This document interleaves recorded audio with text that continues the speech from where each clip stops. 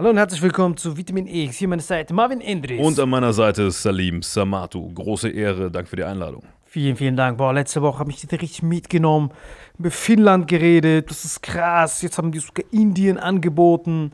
Es ist schon krasse Zeiten, Alter. Ich Wie meinst du Indien das. angeboten? Man hat Indien angeboten, äh, auch in die NATO aufgenommen zu werden, weil es ja perfekt passt. Die haben jetzt die NATO, wollten die auf Dings erweitern, damit man diese chinesische Russenallianz ein bisschen näher anbröckelt. Und das ist ja immer dasselbe System. Die haben ja so Streitigkeiten an der Grenze von Indien und China, wegen diesen, äh, an der Grenze da, da Tibet, Bangladesch, ich hoffe, das heißt Bangladesch. Und da geht es darum, dass die da auch schon so Streitigkeiten und sogar Kriege hatten, China und Indien. Weil, wie du schon vor 18 Folgen gesagt hast, Kriege der Zukunft gehen um Wasser. Und genau da geht es darum, dass China über sehr wenig Wasserreserven verfügt. Und dann ist das so eine Option da von den Gletschern aus Indien, da so ein bisschen das Wasser wegzurippen. Und äh, dagegen kämpfen natürlich die Inder bis zum letzten Currykorn. Und ähm, deswegen haben die jetzt die NATO den Indern das angeboten. Und wenn die dann in der NATO wären, die Inder, dann hätten die. Das heißt ja nicht umsonst in der NATO. Genau, man hat gesagt, hey, Inder in der NATO, außer der, der NATO. Die sind schon im Quad, also das sind die schon. Quad ist ja schon so eine Militärallianz mit Japan, Australien und Indien. Aber so hat man dann den perfekten Zwei-Fronten-Krieg. Dadurch, dass jetzt Russland schachmatt gesetzt ist mit Finnland in der NATO mehr oder weniger. Das heißt, wenn es jetzt, wie gesagt, alles natürlich ohne Nukleareskalation, äh, jetzt, dann könnte man China auch von beiden Seiten so ein bisschen attackieren. Ist halt so, genau, und das hat man denen jetzt angeboten, aber ich glaube nicht, ich weiß nicht, ob die Inder sowas annehmen. Und die Türken haben, wenn ich das richtig verstanden habe, auch jetzt die Sanktionen eingeführt. Ja, die jetzt, die jetzt auch offiziell gesagt haben, hey Leute, wir sind nicht mehr dieser Zwischenhändler für Halbleiter und Parken von russischem Geld. Wir beteiligen uns jetzt an den Sanktionen, wenn ich das richtig verstanden habe. Inder beteiligen sich an russischen Sanktionen. Nicht die Inder, die Türken. Die Türken, ich dachte schon. Genau, Moment, ich gucke gerade. Weil Indien ist ja eigentlich clever, so als Schwellenland sich erstmal rauszuhalten aus allem, ne? Korrekt, ganz genau. Ähm, ja, genau. Turkey blocks transit of goods sanctioned by the EU, US to Russia. Ja, offiziell. Halts Transit. Ja, die haben es geschafft. Die haben den Erdogan aufgeknackt. Genau. Das heißt, der Erdogan hat jetzt alles mitgenommen, was geht. Aber glaubst du, dass äh, das Erdbeben da eine Rolle gespielt hat in der ganzen Gleichung jetzt gerade? Weil das ist ja wirklich das Schlimmste, was ja seit Ewigkeiten passiert ist. 100.000 Tote, Millionen Obdachlose, angewiesen auf europäische Hilfen auf einmal. Voll. Oder? Voll. Voll. Weil ein Putin kann dir nicht viel helfen beim, bei der aktuellen humanitären Situation, aber die Europäer schon. ne? Die sind ja darauf ausgelegt. Das ist ja deren System. Immer alle ausbeuten, bis humanitäre Hilfe gebraucht wird und dann wieder ein bisschen pampern. Das ist ja unser Europasystem, weißt du? Voll. Habe ich, hab ich mir gar keine Gedanken, aber das stimmt, du hast vollkommen recht. Natürlich hat man jetzt Türkei richtig fresh an den Eiern, weil die natürlich jetzt die ganze Zeit da natürlich gepokert haben mit, wir blockieren NATO-Eintritt von Finnland und Schweden und dafür gibt ihr uns, also es gibt ja noch eine Story hinten dran. Also Türkei ist ja unglaublich. Aber man kann auch Türkei ein bisschen verstehen. Guck mal, wir verstehen das Ganze. Wir verstehen, Gastarbeiter in Katar, wir verstehen Türkei. Wir können das nachvollziehen, wir sind leider einer der wenigen, die das nachvollziehen können. Und zwar in, einem, in einer Comedy-Perspektive. Ist ja immer so, du verlässt dich auf etwas, aber das Krasseste, was du in dem TV-Business oder im Entertainment kriegen kannst, ist ja ein sogenannter Exklusivvertrag. Wenn du exklusiv bist, bist du ja angekettet und wenn dann ein Angebot kommt, was besser ist, dann bist du ja erledigt. Das ist ja mehr oder weniger Exklusivvertrag. Und am Anfang deiner Comedy-Karriere kannst du dich erinnern, dass man ja den Traum hat und um auf diesen Traum hinzugehen, macht man Sachen, die du aus erfolgreicher Comedy-Perspektive als Niemals Sklaverei. Genau. Ja. Genau, das heißt, wenn so ein Luke Mockridge oder ein Kristall offene Bühnen angucken würde, der würde sagen, ey, das ist ganz klar Sklaverei, wir müssen die Comedy-Clubs sanktionieren, weil diese Comedians treten da umsonst auf, im Gegenteil, die zahlen sogar noch drauf, müssen selber dahin Nee, fahren. guck mal, Chris zum Beispiel testet ja schon gern auch, weißt du? Langsam. Wir sind am Anfang der Karriere. Am Anfang. Ach so, ach geht so, nicht ja. um Testen. Am Anfang hast du ja kein Testen. Am Anfang trittst du ja nur auf, um aufzutreten. Mhm. Und da, wenn wir uns erinnern, fahren wir da teilweise 600 Kilometer, um fünf Minuten irgendwo auf eine Bühne zu gehen und kriegen keinen Cent dafür. Und aus der erfolgreichen, aus Mario Barth, Paul Pantler, Ja, von der Perspektive von mir aus, aber Chris ist ja auch den Ochsen, also Chris und Luke sind ja diese Ochsentour noch gegangen, deswegen sind die kein gutes Beispiel. Mario Barth ist ein gutes Beispiel. Nein, nein. Ich meine, jetzt. Stand jetzt. Ich rede nicht von. Ich rede Kristall jetzt beurteilt offene Bühnen jetzt, ohne sein, dass er das auch gemacht hat, auszublenden. Wichtig. Also, noch, ich muss nochmal klarstellen. Das, was ich gerade vergleiche, ist ein Comedian, der jetzt erfolgreich ist. Luke Mokric, Mario Barth, Caroline Kebekus, schauen jetzt in ihrer Villa auf diese offenen Bühnen und verlangen einen Boykott der offenen Bühnen, weil das Sklaverei ist. Weil Doch diese- Quatsch, die, ist doch, die sind doch alle dafür, dass Kultur und Nachwuchs gefördert wird. Deswegen ist das Beispiel so beschissen. Nein, nein, nein. Wenn du ranzoomst auf Bezahlung, Ja, aber so denkt ja keiner. ich, ich sag dir nur, das Das ist. ist so an den Haaren herbeigezogen. warte doch mal. Ist weit hergeholt wie die Kinder von Madonna. Warte doch mal ganz kurz. Du fährst hin, machst etwas, wofür du Umsatz kreierst, mit Leuten Umsatz an der Bar, kriegst aber kein Geld dafür, was normal ist bei offenen Bühnen. Warum? Weil der Comedian einen Traum hat. Wenn wir Comedian werden, deswegen geht er dahin, bezahlt sogar dafür, dass er auf der Bühne stehen kann. Aber, das ist jetzt Kunstperspektive. Ökonomieperspektive ist, der kriegt ja gar kein Geld dafür, dass er etwas macht. Sklaverei, kann man ja so nennen. Ja, wie gesagt, ich sehe da andere Aspekte, Nachwuchsförderung und so, die Boah, ist ich, das. sag doch nur die BWL-Perspektive. So, Ich weiß, sag jetzt ich nur, weiß. ich sag jetzt nur, wenn ich deswegen ist das Beispiel so beschissen, weil wir in diesem Business drin sind und ich sehe das halt auch mit ganz anderen Augen, aber ich weiß, was du meinst. Wenn du jetzt nur Zahlentyp bist, sagst du, ja, die werden ausgebeutet. Danke. Und wenn du nur Zahlentyp bist. Wenn du ein Zahlentyp bist. So, das- das meine ich jetzt gerade mit Kreis schließen auf, ich bin irgendwo in den Slums von Bangladesch, wo jeden Morgen ich Shit-Taucher bin. Ich muss jeden Tag Kanalisation, den Shit mit meinen Händen und meinem Mund rausholen und woanders hinhauen. Das mache ich jeden Tag. Und wenn dann irgendwann das Angebot kommt, hey, du könntest den Traum haben eines besseren Lebens, dafür gehst du hier auf die Baustelle, kriegst aber ganz wenig Groschen. Dann ist es quasi Open Mic. Ich bin in der Scheiße am Tauchen und sag dann, ich kann hier raus, muss kein Scheiße mehr tauchen. Whatever it takes, brother. Ja, ist eine Mixshow, ist Next Level. Genau, das ist Mixshow. Das ist jetzt der Katar. Und das Bittere ist jetzt bei der Türkei ist jetzt in der Perspektive, dass die wissen, wenn ich einfach nur lang genug warte. Türkei ist so äh, der neue, wen können wir da nehmen? Nehmen wir auch Kristall. Wir sagen Kristall? Nee, Kristall ist ein Kackbeispiel. Äh, wir sagen irgendjemand, ist egal, ein junger, aufstrebender Künstler. Und er weiß, dass die ganzen Leute Nimm doch Salim Samatu. Nein, kein gutes Beispiel. Wir brauchen einen deutschen blonden Burschen, der ein TV-Host ist. So, du meinetwegen, du. So, das heißt du, Deutscher, blonder Bursche, ja. Bursche, genau Bursche. du. Und du weißt, wenn ich jetzt exklusiv bei SWR unterzeichne, angenommen, dann was, ist es cool, weil dann bin ich fest gebunden, ich kann nirgends mehr anders hin für die nächsten zehn Jahre. Und wenn danach ein anderes Angebot kommt, egal, nehme ich in Kauf. Aber du weißt gleichzeitig, dass Thomas Gottschalk, Stefan Raab und alle TV-Moderatoren, die gerade da sind, alle in den nächsten drei bis vier Jahren in Rente gehen. Und dann weißt du, dass acht Moderatoren-Spots frei sind, die gefüllt werden müssen. Das heißt, unter jetzigen Bedingungen musst du Entscheidungen treffen, obwohl du weißt, dass du in vier Jahren bessere Optionen haben wirst. Das ist Türkei. Türkei weiß jetzt, okay, wir haben die jüngste Bevölkerung. In unserer Nachbarschaft sind wir die Kings, was militärisch angeht, was ökonomisch angeht. Geografisch klatschen wir alle weg. Und noch sind wir nicht die Köstlichen, aber in Europa, die ganzen Ratten gehen ja bald in Rente. Dann sind wir auch da der Hotspot. Können wir hier industrialisieren? Nur jetzt sind wir am Arsch. Mit Inflation und diesem Ganzen. Wir haben keine Jobs, aber wir können die haben. So muss Erdogan handeln. Deutschland ist ja mehr oder weniger auf der Schlachtbank. Jetzt weiß ich ja, wo du hin willst. Das macht total Sinn, ja. Genau, jetzt Man macht muss sich Sinn. quasi entscheiden, oder schreibe ich jetzt diesen okayen Vertrag, bin exklusiv gebunden, oder halte ich noch ein bisschen aus und bin dann der neue Thomas Gottschalk. Genau, und das ist Türkei. Du, so, so kann man das alles sehen. Du hast du Option oder hast du keine Option?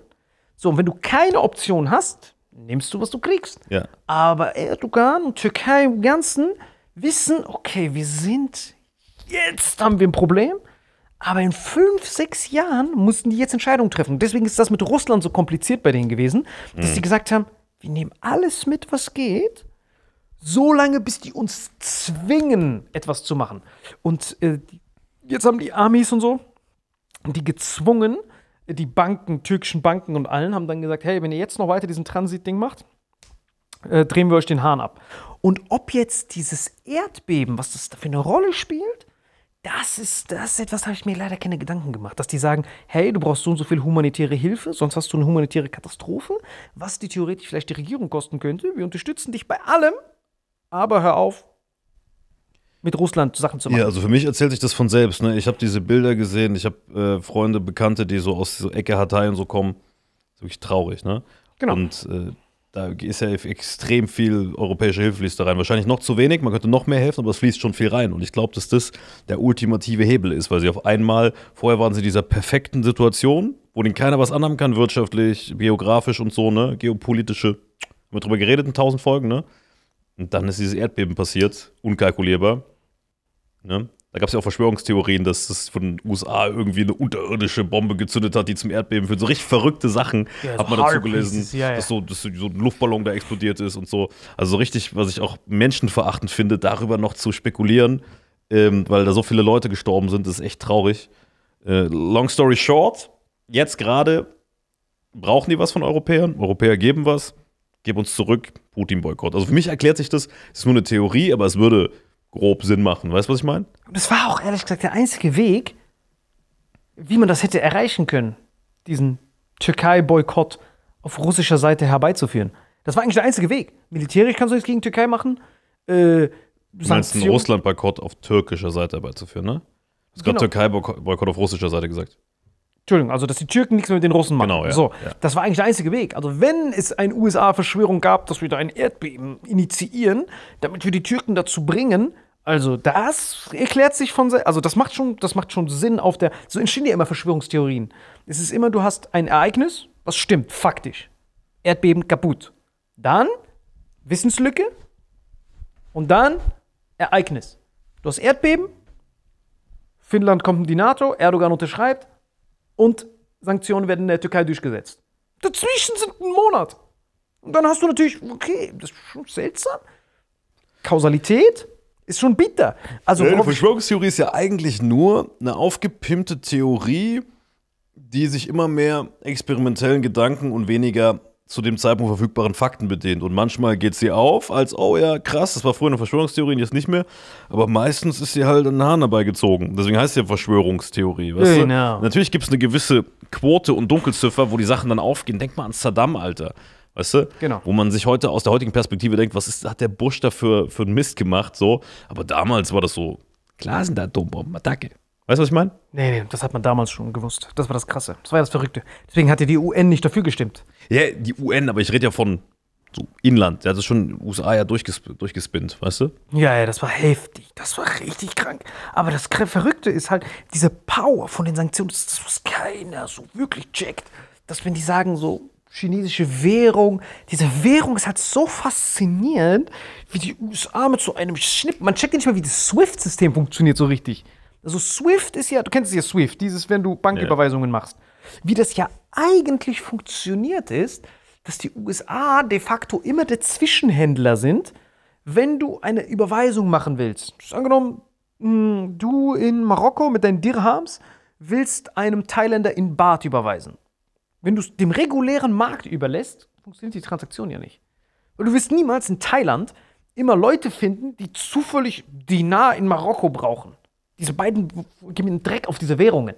Das heißt, du kannst die Währungen nicht miteinander kompatibel Zumindest machen. nicht an dem Ort, wo du gerade bist.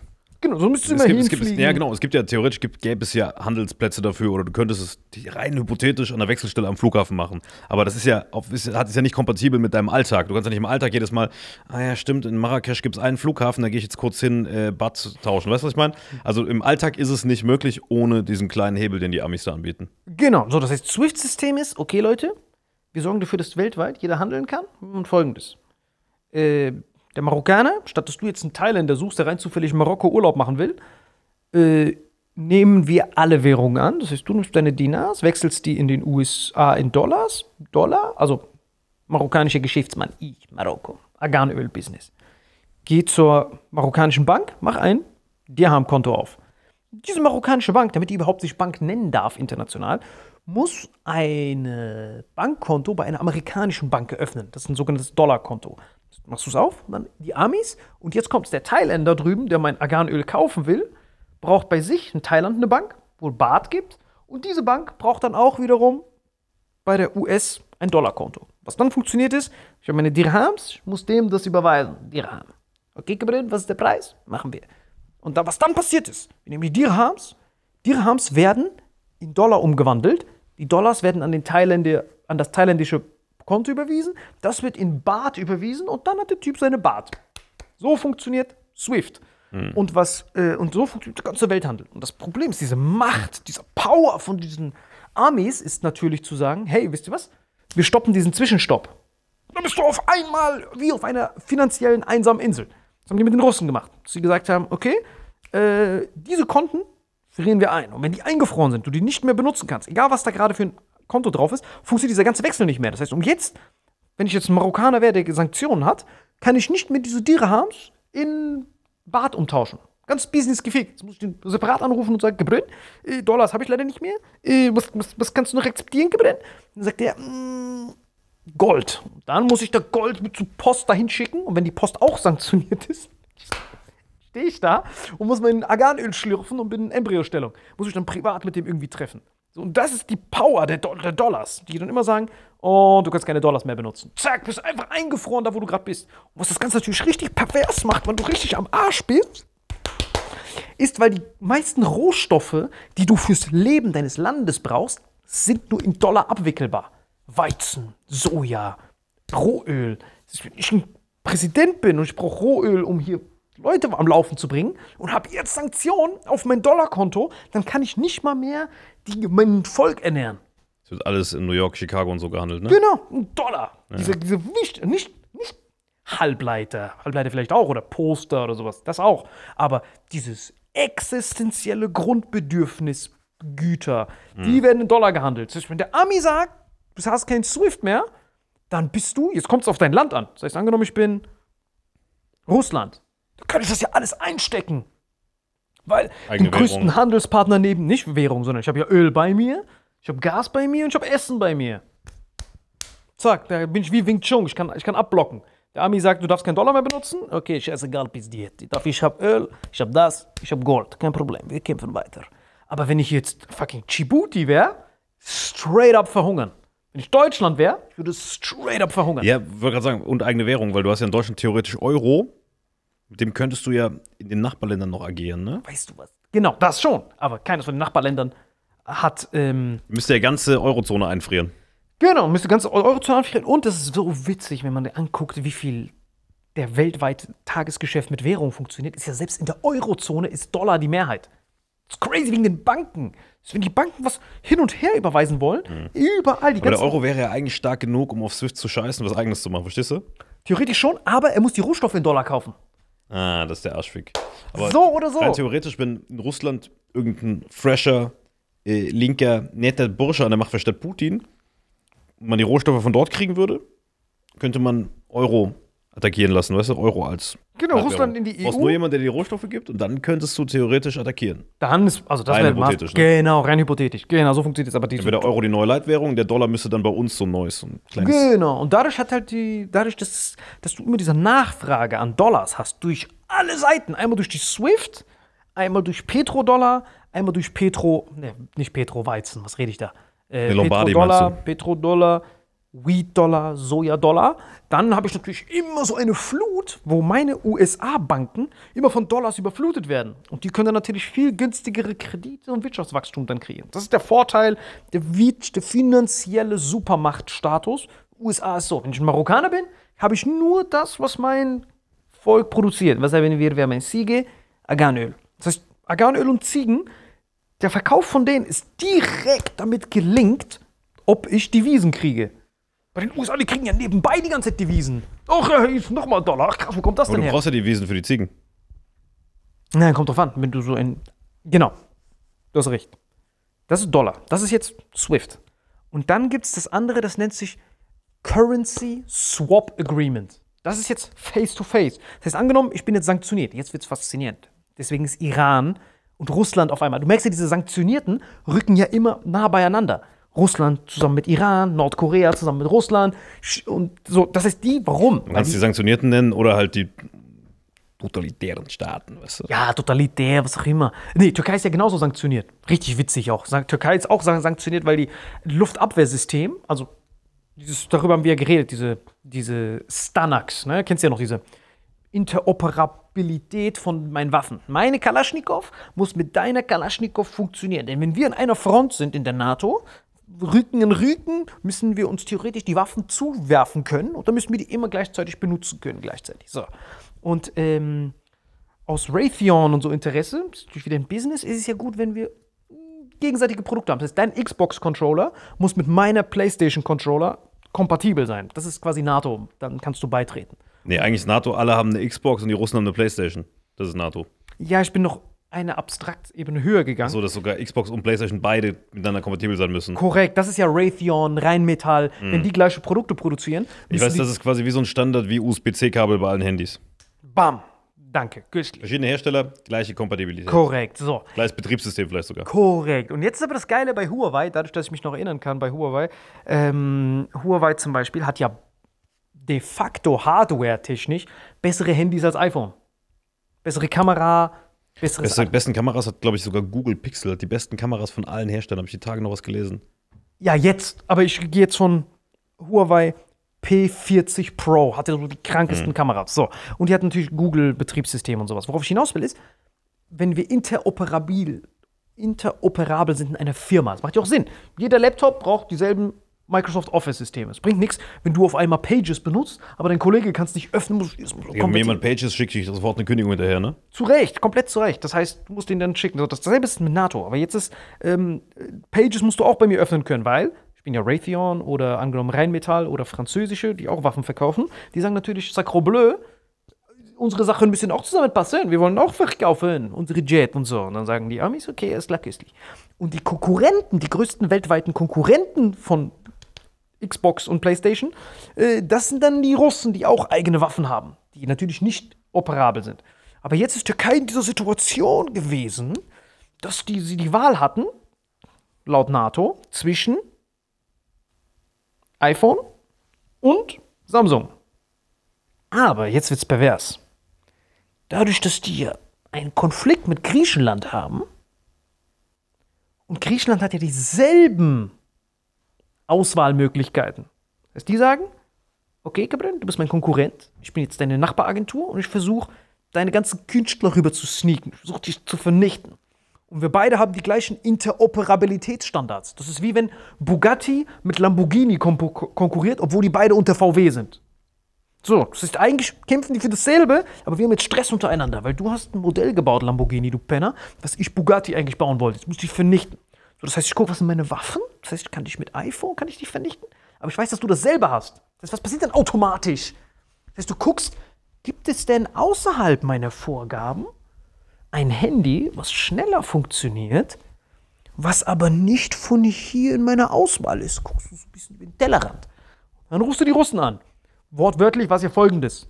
Russland, nee, Türkei, Griechenland, kennst du ja, diese scheiß Inseln. Vorgespult, Ende. Wichtig, es sind Inseln. Das heißt, es ist ein Luftkampf. Das heißt, Luft, Luft, Luft, Luft. Und dann Schiffe. Luft, Schiffe. Das heißt, kommt drauf an, Luft muss ich beherrschen. Was brauchst du da? Luftabwehrsystem. Wenn, wenn ein Grieche rüberfliegt, Flug weg, wenn ein Türke rüberfliegt, weg.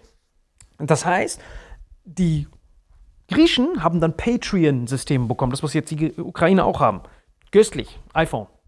Das heißt, die Türken sagen natürlich, okay, Das ist so, als würden die einfach so ein Musilago nehmen, aber so Technik nehmen von irgendeinem so Militärfahrzeug, was sie in den Lamborghini Musilago so einbauen mäßig, ne? ganz genau. Was so eigentlich gar nicht innerhalb vom VW-Konzern zulässig ist. Korrekt. Moment, fährt Moment. so? Jetzt passt es ja noch. Jetzt ist noch, ich benutze ganz normal, was VW-Motoren sind. Ja. Jetzt ist es ganz normal. Mit Griechenland, aus griechischer Perspektive. Ja, aber wenn du so, Griechenland ist, ist meinetwegen Bugatti Veyron und Türkei ist Lamborghini Musilago. Korrekt, sehr gut, das ist mega. Und jetzt habe ich aber Viel gehört. zu teure Autos für diese Länder, aber scheiß drauf. Ja, passt schon. Weil die haben ja um Budget Ich glaube, ganz Griechenland, wenn du das ganze BIP nimmst, kannst du einen Musilago kaufen wahrscheinlich. Vielleicht. Aber dieser Musilago, wir nehmen den jetzt. Aber ich will jetzt den schneller machen, mehr PS, damit ich einen Preisvorteil habe. Und dann erfahre ich auf einmal, dass Lada in Russland, warum auch immer, äh, haben krankesten Motoren, die aber nicht von meinem Konzern sind. Aber mein Produkt hätte dann einen Vorteil gegenüber diesem Penner hier nebendran. Da musst du dich entscheiden. Nationalinteresse versus Konzerninteresse. Ich bin immer noch Bugatti drin. Das Beste für mich. Und Ist die Firma Lada? Lada, genau, das ist die ähm, von Russland, die Autos. So, worauf will ich hinaus? Genau. Krass. Genau, das heißt, die. die Oder ist aber eine reine russische Marke, die es nur im russischen Markt gibt, ja, quasi. ja, ne? genau, ist ja nicht interoperabel und so. Die haben ja kein Freihandelsabkommen und so Mhm. ein Kram. So, auf jeden Fall, long story short, die Türken, was die gemacht haben, war folgendes. Daran sieht man, wie pervers dieser Industrial Complex ist. Die Griechen haben mir die Rückendeckung bei einem potenziellen Krieg mit den Türken von den Franzosen und von den Armees. Das heißt, die Armees, Griechen, ihr seid köstlich. Türkei, nicht köstlich. Griechenland hat keine Wahl. Was auch immer passiert, die müssen sacken. Türkei, wie gesagt, denk an den Moderator, der in Rente geht. Türkei sagt, okay, ich muss nur hier diese verkorrekte Nachbarschaft um mich herum von den Moderatoren, eh bald in Rente gehen, alle um mich herum. Ja, so die- acht Frank Elsners. Gute Typen, aber zu alt, quasi. Genau, die dir alle an die Wäsche wollen, weil die dich als Konkurrenten sehen. Das heißt, die sind zwar am Sterben, Griechenland jetzt ökonomisch, demografisch, ökonomisch, haben die ja nicht den Hauch einer Chance gegen die Türkei. Die Türkei muss nur warten und dann kriegen die alles. Aber das Problem ist, dass, wenn die Ich glaub. Griechenland hat nicht mal einen Bugatti Veyron, die haben einfach nur einen Bus und Türkei hat schon diesen Lamborghini. Ja, aber das Problem ist, der VW-Konzern ist ja, Lamborghini ist so deren geschütztes Kind und die haben Angst, dass Bugatti eigenständig wird, weil die raus wollen aus diesem Konzern.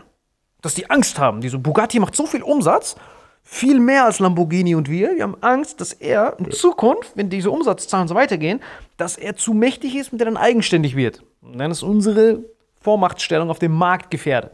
So kann man sich das vorstellen. Das heißt, die Griechen kaufen Patriot-Systeme. Türkei sagt, okay, wir kaufen auch Patriot-Systeme. Und dann haben die gesagt, gab es Komplikationen, weil die wollten wenigstens aufrüsten. Dann dachten die irgendwann, okay, scheiß mal da drauf, gucken wir, gucken wir ob es was Besseres gibt. Und dann war das S-400, heißt das, dieses Luftabwehrsystem von den Russen. Beste der Welt. Beste der Welt. Ist aber nicht erlaubt in der NATO. Das heißt, die Türkei sagen, Skerem, wir bereiten uns auf diese Griechen hier vor. Wir wollen natürlich besser sein.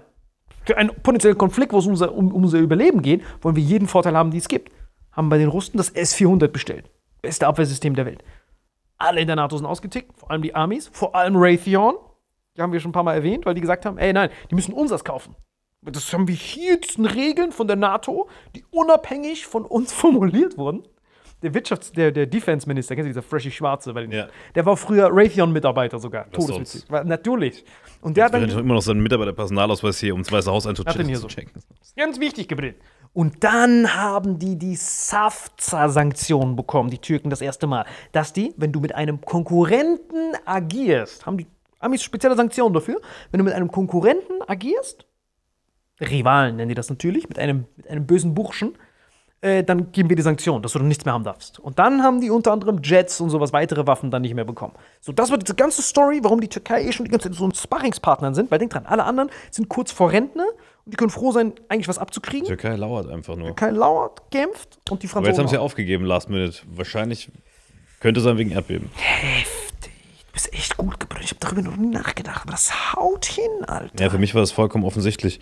Ähm, und wenn was schon offensichtlich ist, dann, eh, dass wir unseren Werbepartner der Woche noch nicht vorgestellt haben. Stimmt, das ist Das sollten wir kurz noch machen, Absolut. bevor die Russen uns sanktionieren. Sollten wir den vorstellen, ne? Absolut machen wir.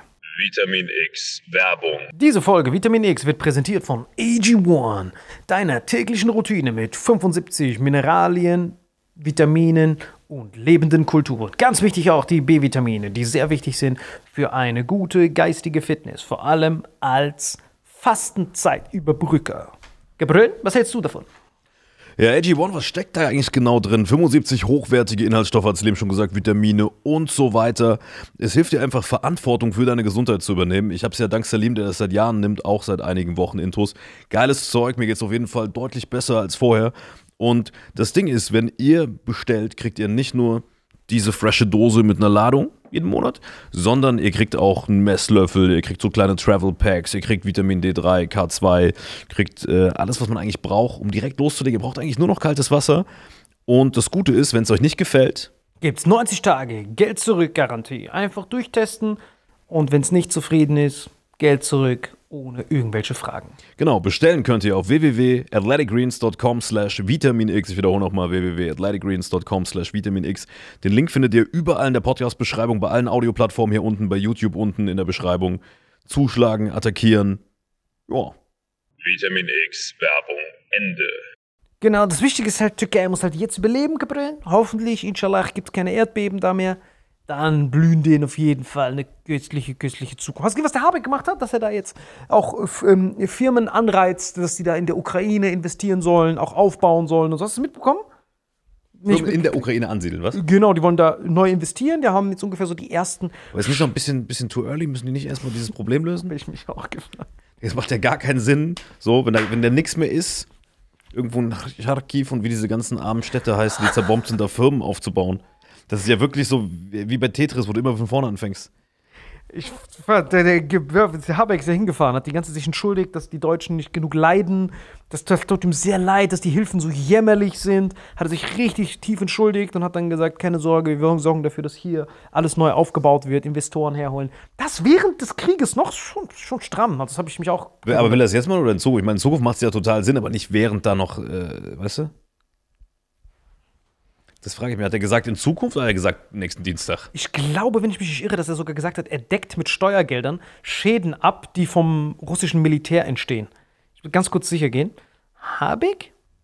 Äh, neue Firmen? Steuergelder? Ich habe davon noch Nein. nichts gehört, ehrlicherweise. Kriegsschäden.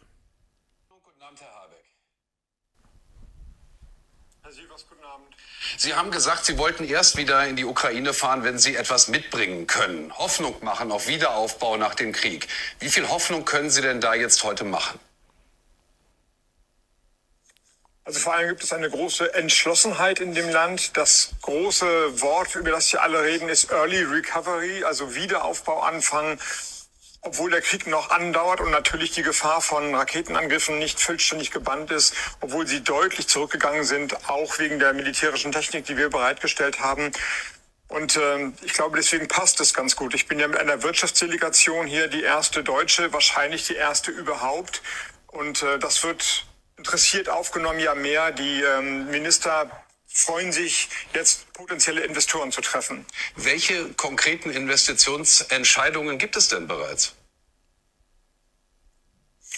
Also zwei sind ähm, im Vorfeld quasi getroffen worden. Einmal, ich glaube, ich darf ich sagen, Bayer, der deutsche Pharma- und Chemiekonzern, wird hier 60 Millionen investieren und dann ein Unternehmen, das hier schon in der Ukraine ansässig war, Fixit heißen die, die machen hier Baustoffe, werden ihre Kapazitäten erweitern, quasi verdoppeln. Das wird auch dringend gebraucht, denn wenn man sich anschaut, was ist jetzt das Erste, was gemacht werden muss, ist halt die Reparatur von Gebäuden und Straßen und Brücken. Und äh, wichtig daran ist, dass wir ein Instrument einsetzen, das wir normalerweise nicht für Krieg, für Kriegsgebiete vorhalten, nämlich eine Investitionsgarantie aussprechen. Und das gilt auch für andere Unternehmen. Sollte dieses Fabrikgebäude zerstört werden durch Raketenangriffe beispielsweise, garantiert oder haftet der deutsche Staat. Das machen wir natürlich normalerweise nicht, das ist viel zu gefährlich, aber in diesem Fall machen wir das und deswegen investiert Fixit ebenfalls. Also entweder es ist der krankeste Deepfake, den ich jemals gesehen habe, oder ich kann dieses Geschwurbel von Verschwörung von nicht mehr unterscheiden. Oder wir sind tatsächlich, wie du vorhin gesagt hast, Verschwörung brauchen Digga, ich, immer ein paar also, Jahren. ich habe eben gedacht, du hast es erfunden, ne? Genau, aber, es- aber es ist ja wortwörtlich. Normalerweise muss, ja machen wir das das. muss man ja gar nicht mehr kommentieren eigentlich. Das ist ja wirklich, das ist ja krasser als alles, was du dir hättest ausdenken. Also wenn das kein Deepfake ist, bitte mal prüfen. Äh, wenn das wirklich echt ist, suchen wir dieses, also es muss echt sein. Ich meine, das ist ja im Interview. Tagesschau, ist ja dieses, Tagesschau. Dieses Interview möchte ich mir nochmal aus der Tagesschau angucken, nicht von TikTok. Und dann müssen wir das hier unten anpinnen. Das ist ja wirklich krass. Aber ich kann verstehen, dass ihr das macht. Also nicht aus wirtschaftlicher Sicht nicht, aber dieses Zeichen zu setzen für die Ukraine, einfach nur für die Menschen, die da gerade unter Krieg leiden, ist natürlich, also menschlich stark, wirtschaftlich schon krass. Vor allem, wenn ich jetzt Putin wäre, würde ich ganz gezielt versuchen, diese Gebäude abzuschießen, weil damit schadet er direkt Deutschland. Wenn ich Putin wäre, würde ich nur noch diese Gebäude abschießen. Ja, ich hab's hier nochmal auf dem Tagesschau-Channel gefunden, ja. Heftig, Brother, heftig. Ich liebe diese TikTok-App. Oh, TikTok, wenn man einmal Ich würde weiß. niemals Nachrichten da gucken, weil du weißt nicht, was aus dem Zusammenhang geschnitten ist. nein, nein, nein, ich weiß folgendes. Ich weiß ja, wie Informatik funktioniert. TikTok ist ein. Das habe ich gesehen die letzten Tage. Genau, also TikTok ist so ein gefährlicher, zu bändigender Algorithmus, weil er deine Der ist Interessen. toxisch ohne Ende, der gibt dir nur noch deine Bubble halt. Nein, genau. Aber wenn du deine Bubble programmierst, das Gute ist ja, er nimmt ja die Daten auch aus deinem WhatsApp und so. Der nimmt ja Daten von allem. Nicht nur das, was du auf Dings machst, Das sondern auch. erklärt auch, was er mir anzeigt die ganze Zeit. Genau, bei dir ist ja nur Titen und, und Popo. Nee, Und gar nicht. Bei mir ist nur Fußball. Also ich habe das komplett, also mein, mein Algorithmus ist Fußball, Creator Shit und Comedy. Bei dir ist ja nur Politik und Geopolitik. Genau. Bei Salim werden die ganze Zeit nur seine eigenen Sachen angezeigt. Also Salim ist quasi sein eigener Algorithmus. Er kriegt Genau. die ganze Zeit nur Leute, die ihn so, die ihn so, wie nennt man das, reposten, wo man so re remixen. Also das finde ich grandios. Also ich bin kurz davor, wieder so ein 60-Sekunden-Video darüber zu machen mit dem haftet für Kriegsschäden, weil diese Sache, die man verstehen muss, ist folgendes. Das Problem ist, wenn du so ein Video machst, ruft direkt wieder irgendein Sender an und sagt, ja, den, den man müssen wir canceln. Das, ist ja, das, das Problem ist ja, wir wissen ja alle, die wirklich eine ganze Podcast-Folge hören oder mehrere, dass Salim weder ein Verschwörer noch ein Schwurbler ist, noch extreme Tendenzen irgendwie hat, sondern einfach nur guckt, was geht gerade aktuell ab und dann versucht er das in einen geopolitischen Kontext zu setzen. wenn ich das Video von Habeck posten würde, würden die sagen, hör mal auf mit diesem Geschwurbel, Alter. Wenn du eins zu eins wortwörtlich das sagen würdest, wärst du sofort gecancelt. Nee, wenn ich das posten Weil die würde. denken würden, das ist Verschwörung. Weil das kann man, ja, ich sag ja, das Problem ist aber auch, guck mal, was du anhast, diese Badehose, diese Che Guevara-Friese, dann die, deine, du kannst dich halt zu, zu gut artikulieren für einen Politiker, das kommt auch noch dazu. Ich wäre da besser, ich sag ab und zu noch M, aber bei dir sind ja kein M, kein gestotter, nix. M? Du redest viel, du redest viel zu flawless, du wirkst wie Natürlich. so ein Bot, den man programmiert hat, weil du viel zu intelligente Sachen sagst und zwischendrin ist dann ein kleiner Fakt, der nicht stimmt, zack, bist gefiegt. Genau, also Also das du bist wirklich eine wandelnde äh, äh, Zeitbombe, Normal, weil du aber dann Zeit voraus fokussiert man bist. sich auf so Rechtschreibfehler oder so, oder so Kommafehler oder so Neologismen und dann so 4 bis 6, 12, 12 ist gar keine Zahl. Schauen wir mal, zählen wir mal ganz kurz bis 10. 1, 2, siehst du, 12 ist keine Zahl, also ist der bestimmt ein Depp. Aber hilft nur Sch Schrotflinte in den Mund und dann Ja, Schrotflinte oder was auch hilft in dem Fall, ähm, bevor du Schrotflinte reinmachst, regeln wir ihm noch eine Investitionsgarantie, dass er wieder aufgebaut wird. Das, du schießt ihn ab und dann kommt der deutsche Staat. dass der sich wundert. Wir sind die erste Wirtschaftsdelegation, die hier ist. Das ist auch sehr seltsam. Nein, Junge. Das liegt daran, dass andere Leute einen Wirtschaftsminister haben, der diesen Titel nicht nur sarkastisch trägt, Alter. Die gucken, was ist Wirtschaft? Was ist das Grundbedürfnis bei Maslow-Pyramide? Sicherheit. Haben wir das in einem Kriegsgebiet? Mit einem atomaren Supermachtsgegner, was zu jeder Zeit eskalieren kann? Nein. Also ist Grundlage für Wirtschaft nicht gegeben. Ich bin zu 95% bei dir und die Aber letzten, der Typ- die letzten 5% sind was Humanitäres. Du darfst nicht diesen empathischen, humanitären und diesen Signalwirkungen, die das vielleicht hat, vergessen. aber doch nicht Investitionen. wie gesagt, ich finde es auch nicht gut. Investition ich, ist ja ich, Cash. Ich finde ich find nichts da, ich, wie gesagt, 95%, deswegen würde ich mich auch dagegen entscheiden, das zu machen, ja.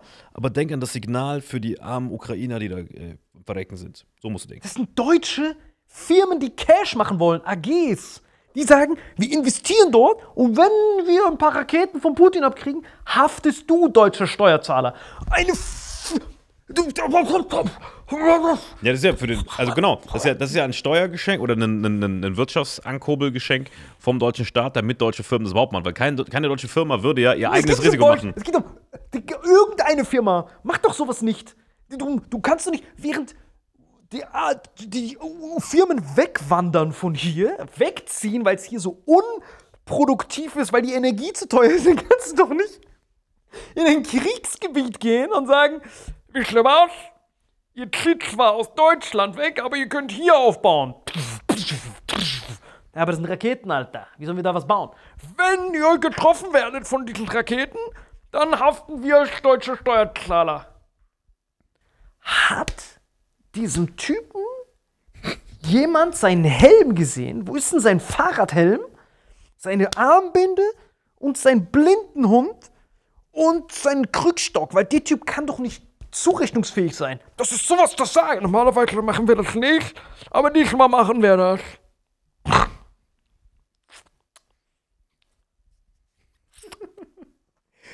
Ja, was soll ich sagen, Alter? Wie gesagt, Wie 5%? Ich kann- Humanitär ist was anderes. guck mal, Humanitär das. Problem ist, das ist halt ein, glaube ich, ein netter, guter Typ vom Charakter her und der wäre super, um Leuten im, weiß ich nicht, im sozialen Bereich zu helfen. Weißt du, weil er ein gutes Herz hat, offensichtlich. Er will da helfen an der Stelle, wo es aus allen äh, wirtschaftlichen Gründen und dieser Kriegssituation, weil die Gefahr so hoch ist, keinen Sinn macht. Er will trotzdem helfen, weil er, so wie ich zum Beispiel, das Herz am rechten Fleck hat. Nur darfst du so jemanden wie ihn oder wie mich dann auch nie zum Wirtschaftsminister machen. Nein, nein, kannst du ruhig machen, aber wichtig ist, dass, dass die Kreditkarte, die du hast, die muss Das wäre ein guter Sozialminister, glaube ich. Nein, nein, er wäre In ein Deutschland, gut, Inland. Nein, nein, nein. Er wäre ein guter McDonalds-Mitarbeiter. Weil bei McDonalds kannst du nur das über die Theke geben, was da im Lager ist. Und wenn nicht, dann bekommst du ja von so einem Afghan so einen Box in den Nacken, wenn irgendwas nicht passt. Aber du kannst es nicht mit so einer Kreditkarte von jemand anderem. Ich, also es gibt nicht mal eine Analogie, die mir gerade dazu einfällt. Also das ist ja wirklich. Ich brauche wieder 17 Liter AG1, um mich davon zu beruhigen gerade. Weil ich habe, als ich es ausgesprochen habe, bevor ich es gefunden habe, war ich so, ich habe das doch gerade nicht wirklich gesagt. Jetzt verliere ich safe wieder fünf Mixshows. Allein schon, weil ich das gerade gesagt habe, dass ein deutscher Minister für Kriegsschäden in einem aktiven Kriegsgebiet haftet mit Steuergeldern. Das klingt ja, das ist ja, Xavier Naidoo, Hildmann, Oliver Janich und äh, alle anderen Verschwörungsavengers, Alex Jones, kannst du alle mitrechnen. Alex mit Johnson, William mit Wilson. alle meine erfundenen Characters können sowas nicht erfinden. Wir haften mit Steuergeldern für deutsche Firmen, wenn Raketen einschlagen in einem aktiven Kriegsgebiet. Sowas kannst du ja nicht, sowas kann man ja nicht erwähnen. Das kann man ja nicht, das klingt ja wirklich, ich hätte das nicht erfinden können. Das war, das war höchstes Schwurbeltum, aber halt von einem Minister. Was halt stimmt noch. Das ist einfach eine Schnapsidee, glaube ich, nennt man das dann in dem Fall. Gib mir das AG1, Gabriel, schau jetzt ab. Ja. Sofort Guck mal, kannst du eigentlich, kannst du eigentlich enden mit einem mit einem Zitat von Casey Rebel eigentlich, ne? Ist mir eben eingefallen, wo du über Türkei geredet hast. Das kann man eigentlich gut abschließen. So auf Habeck bezogen. Wir sind gleich, doch nur der Unterschied ist, dass du wohnst ein paar Straßen weiter. Aber während du dein ganzes Leben lang den Bus immer verpasst, fahren wir weiter. Meine Murcielago, das hier ist ein Murcielago.